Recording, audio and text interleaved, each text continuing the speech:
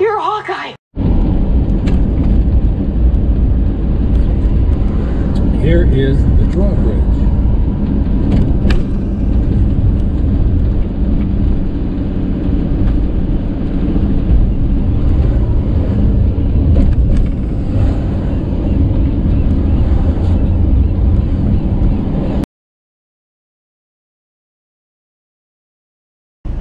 Charlie John's a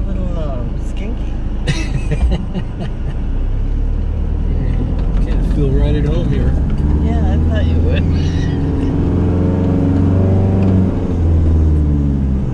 this one has papers over the window. I don't think they're new. They're remodeling, yeah. I think it's that they're closed due to the COVID. And a lot of these eateries have closed down and shops.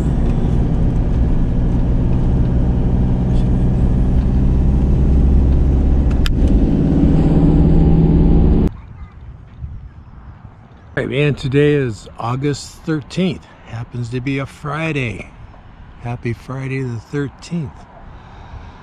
We're in a place called Charleston, Oregon. And uh, found this little place called Snug Harbor RV Park, which is behind a gift shop and a laundromat. Last night we went to bed, this place was full of water. Here's our campsite. And it's kind of a small place. Did I tell you we're downtown Charleston? That's CNN there. They just had a story about all the chatter they're hearing on the internet regarding another insurrection. Guess we'll have to wait and see what happens. Uh, it's a little later in the morning here. and Guess I just wanted to photograph how much the tide's coming in, you know. A bunch of people out there, I guess, walking around in the mud, uh, digging for clams. Since the last recording of the situation here, but as you can see, the tide is going out again. Okay, tape's rolling. 60 degrees 63 is the outside temperature.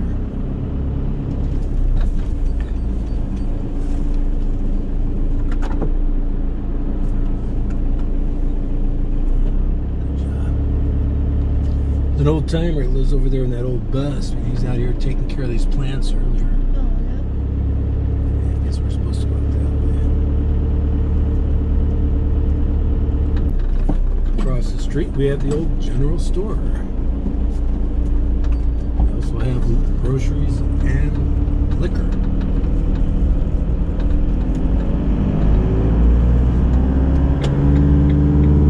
Yeah, that Davy Jones Locker is just another quick store. Really? This is where all the I thought it said deli. Oh, it is? yeah, but it's like a liquor store. Here's where all the Tonys were hanging out last night. No kidding. Oh, well, right next door. God. Wow! My God. Oh my God. Seaport RV Park. Um, yeah, we're going to have to drive through there coming Oh God. back. I'm afraid to, but. Alright. Hey, they got a laundry room. They do. Seaport RV Park. Alright, let's see what they got going on. They look like they have some long-term How you doing, yeah? Oh, and they got a kitty cat. Uh, a fence walker. He's trying to get out. oh, wow, this is a dead end here. oh boy, you got yourself in this one, didn't you? Sorry, guys.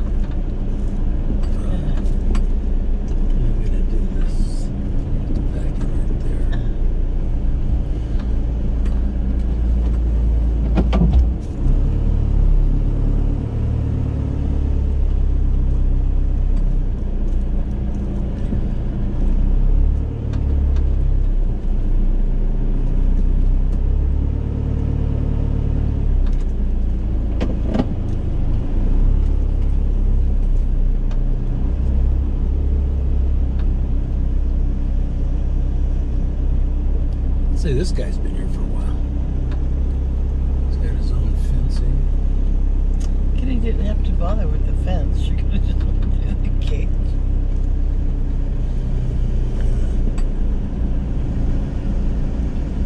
Depressed.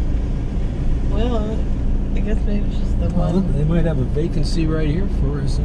You think? Close to the road? Nice. Those might be restrooms there.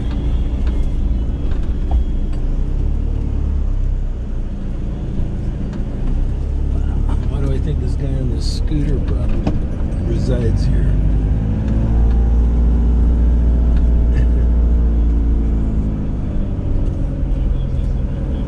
How you doing?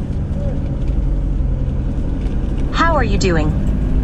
Come and ride along with Hawkeye and Jeannie on their trip, visiting cities, communities, towns, villages, hot springs, Timbuktu, a few nudist resorts, and some other places of interest to determine what is really going on during the aftermath of the COVID-19 pandemic.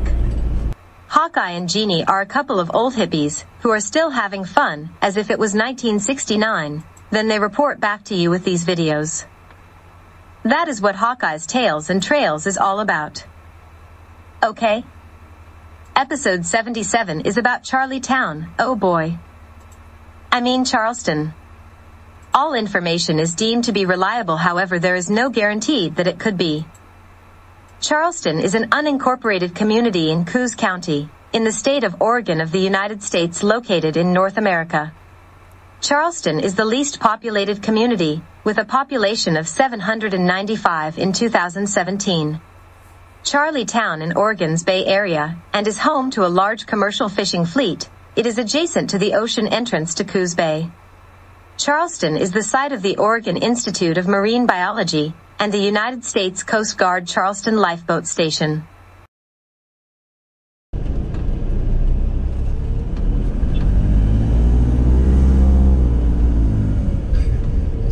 See all those Dodge Rams back there? Yeah, convention. Here you see the Jimmys and the Fords. There's all the Fords, Chevys. These are all American made, man. American made. All right. Ah, there's a Toyota. Go. Charleston was named for Charles Haskell, a settler who filed a land claim along South Slough in 1853. South Slough is an arm of Coos Bay, which it enters near the bay's mouth on the Pacific Ocean. Oregon Route 540, which crosses the slough southwest of Barview, passes through Charleston and links it to three state parks further south along the coast, Sunset Bay, Shore Acres, and Cape Arago.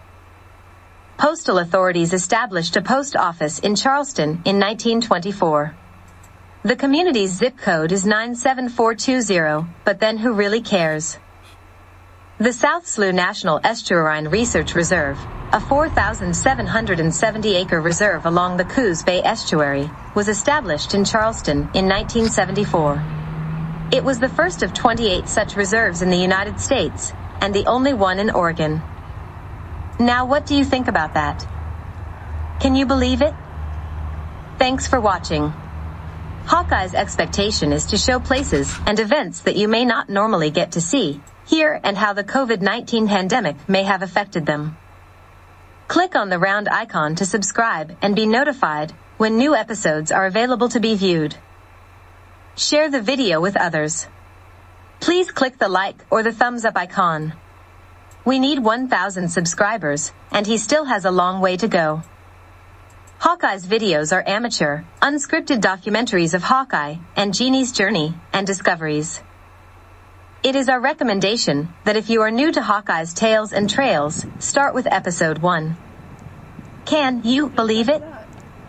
Now, what do you think about that? I think that I may have already seen the movie. Or was it on the news?